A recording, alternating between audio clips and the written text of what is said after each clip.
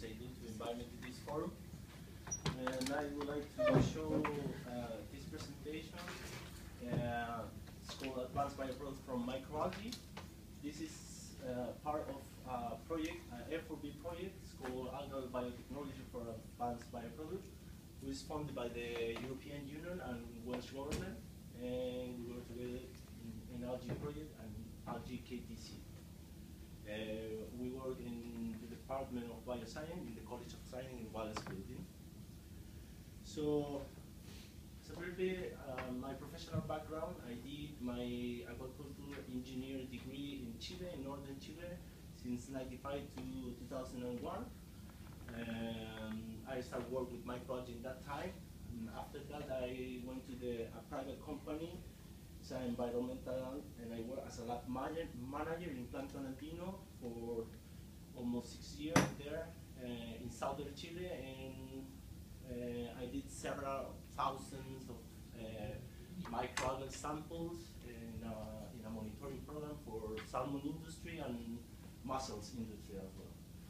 Uh, in, in 2007, I flew to Spain and I did my PhD in Autonomous University of Barcelona and I work as well in the Research Council of Spain, specifically in the Institute of the Ciencias del Mar in Barcelona. And my thesis was about a specific group of microalgae.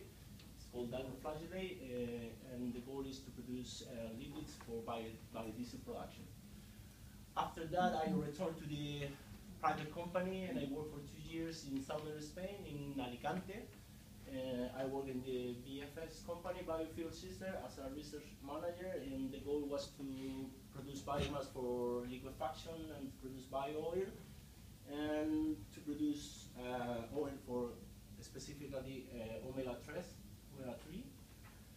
And since March, I'm working here in Swansea University. So today we're talking about about microalgae. But uh, what is microalgae?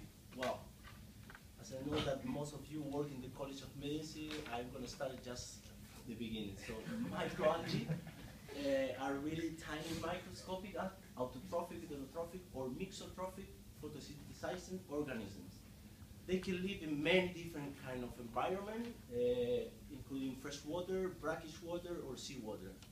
If you see any kind of pond and you see some green color or red, probably there are microalgae. Uh, there are different cell size from really few microns until millimeters. Uh, there are, well, two phylum is prokaryotic, uh, but mostly, most of the microalgae are eukaryotic. So prokaryotic is the cyanobacteria. Um, this kind of uh, organism, this is the first organism in the earth. So uh, it's, it's, really interesting, this information. And we got uh, thousands different species, and for sure we will discover more in the, in the coming years.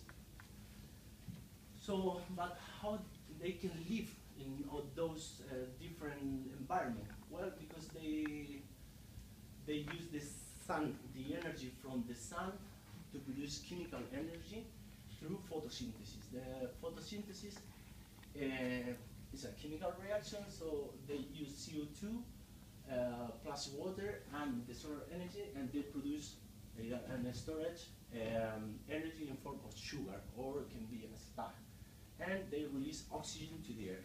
So for that reason, this kind of organisms are uh, really important. But uh, why they are so important for our lives? First of all, because they support all the food chain in the city. Uh, usually I explain to little kids that the phytoplankton, it's called microalgae, is like grass in the air, but in the sea. You know? So uh, these organisms uh, support all the food chains because uh, all the zooplankton uh, utilized as a food, phytoplankton, and then small sardine or even blue whale, big one, they support uh, this food chain. Also, now, uh, for example, we are burning microalgae in our cars because the, the oil that we use every day is microalgae from millions and millions of years ago. So they're uh, really important. They're important as well because a half of the total CO2 emission in the atmosphere is paid by this organism. So in fact, uh, now is uh, a big concern in the in the scientist world because all the ocean it's becoming a little bit more acidic, and this will be impact all the the, the, the food chains in the ocean because uh, we have released too much CO2, as you know, and these organisms they cannot take all the CO2 that we are releasing, so it's a really really huge problem.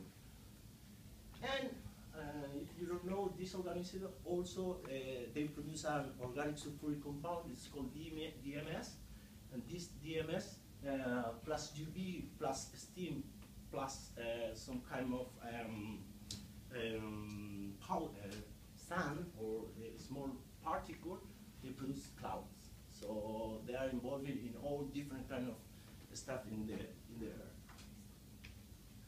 They are beautiful. We have different shapes, different color, different pigment. Here up uh, you can see that they can leave uh, change. For example, that is called Alexandrium uh, catenella. It's really toxic. You can die if you eat just one cell, so it's really toxic. But also they can live in form of colony.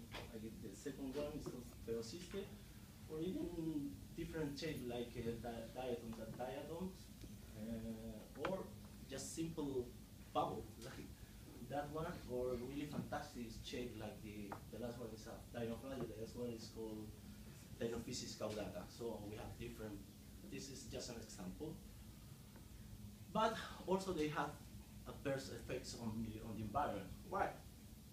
They can produce, a, it's called harmful algae bloom. So, and, and this kind of bloom, there uh, explosion in, in the sea when, when they have uh, enough nutrient concentration, they have life and right parameter, they can grow in an explosive way and they can damage the aquaculture activity. For example, here we, we got a, a, photograph in southern Chile and then you can see this salmon cage and they have they, they lost all the production of salmon in, in that um, bloom in 2002. Was that bloom? It's huge. They can cover hundreds of kilometers. That you will see later. Also, uh, they can have adverse effect on recreation activity. This is a photograph in northern Spain, and then you can see uh, a bloom of Alexandrium minutum, that is cousin of the Alexandrium catenella, and they have to close all that beach because they can produce toxins, so it can be harmful for, for human being and for, for the ecosystem. Or as you see here, this is a Coccolithophora bloom in Cornwall in southern England. And after this huge amount of biomass, uh, there are huge amount of bacteria as well, so they can uh, deplete the oxygen concentration in the sea and they can cause this uh, different damage to the ecosystem as well. This is a satellite image. With these photos, uh, I, will, I would like to, that this kind of uh, organisms, they, they are distributed cosmopolitan in, in any part of the world they are growing. Well, it's a background of microalgae for biomass production. production. After the, the, the oil crisis in the beginning of the 70s, there was a huge project in the, in the state, uh, in the energy department, and they, they do a lot of research in order to produce some kind of biofuel from these uh, organisms. Uh, after that project, and so uh, other many projects, uh, we discovered or uh, discovered that this kind of organism can produce high biomass production until few grams per liter. they can synthesize more oil than terrestrial plant. The oil level inside the, cells is between 20 to 50 percent. They can vary, it will depend of the growth curve. And they exceed high growth rates. In our term, they can double uh, the biomass in one day. And can be slow if you compare with bacteria, because they, they double in an hour or a minute. It is quite fast if you compare it on terrestrial plant. In fact, they are really, really efficient in terms of photosynthesis, photosynthesis because uh, they can uh, uh, taking the, the terrestrial can use just 3% of the solar energy, and the, this microalgae can use 9% of this uh, energy to convert in chemical energy, so they are really efficient. Well, these are uh, the commonest microalgae used already currently for different uh, production. For example, here we got Spirulina platensis, that is a cyanobacteria to produce protein for human food or animal food. And have is for biomass production. Uh, here we have really small, tiny, and really strong cell. It's called Chloropsis oculata. This is for aquaculture feed and for EPA production as well, for eicosapentaenoic acid production. And here we have a freshwater species, it's called Hematococcus pluvialis, it's for astaxanthin production. There is a pigment that uh, usually you will see in salmon. The, the, the orange color is for the, that pigment. Uh, how can we grow? How can we culture this, uh, this organism? Well, there are two different systems for this uh, for the production of this organism. First of all, we have the open system. This is uh, some photograph in Hawaii and in, in California. The, this uh, this system, this is a really shallow mixer or raceways, ponds or tank.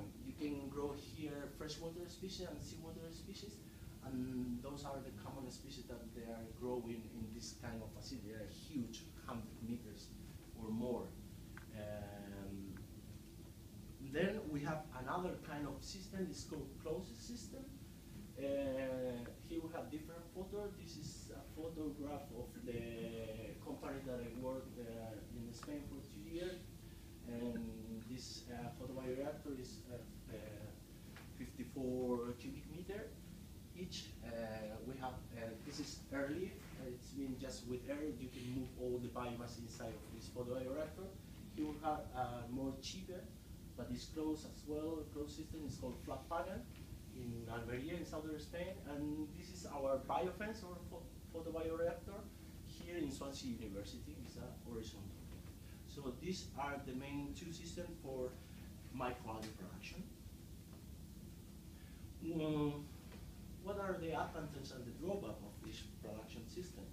Well, in closed system, the advantage is that we have high production. Uh, we can control some parameters as temperature, pH, CO2, turbulence, so we can control this kind of parameter. Uh, they have low risk of contamination, and the final product is really pure. So mostly 99% of the culture is a monoculture. We have some contamination, but in, in, in real term, it's, it's really pure. Global, high OPEX OPEX is the operational expenditure, so it's really high to operate this, uh, this um, kind of system, and have a high uh, uh, capital expenditure. So deploy one of these plants, you have to spend a lot of money to deploy this kind of plant. Compared with the open system, this kind of uh, system have a low OPEX and low CAPEX because you have to move some earth, put just the liner and you can grow algae there. But what is the drawback? Low production, uh, high risk of contamination, and less purity of final product. Maybe we have other like evaporation and other stuff, but basically this is the drawback of this system. Okay? So, well, uh, which kind of molecule we can extract from this organism? Well, for sure, lipids, proteins, and carbohydrates. So you know better than me that the, the main biological function of lipids is good energy storage, structural component of cell membranes, and it's important for recycling molecules. Protein, principally a structural component, component of the cells, and bioregulation and immun immunological activities, and carbohydrate mainly for energy requirements, and in some case for cell structure. Here we have a microphotograph of uh, Alexandrium, and you can see here the lipids fraction. There are two fractions, polar and neutral. Polar is between fat, uh, waxes and phospholipid, and neutral fraction is triacylglyceride and triglyceride. You can see here some oil droplets in these cells. Well, protein. Uh,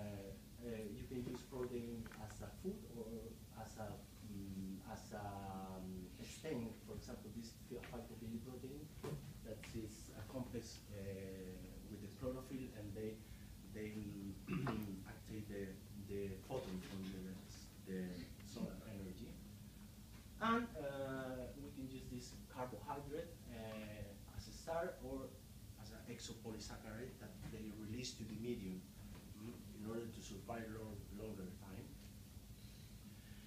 Which product we have from lipids? Well, mm, the last decade will be uh, was was really uh, productive in terms of uh, biodiesel production. Uh, what is biodiesel production? This is a transesterification reaction. We have the oil there, the triacylglyceride, plus the our alcohol, this is called methanol, and with a catalyst that can be acid catalyst or basic, usually sodium hydroxide, or even you can use lipasas for this reaction.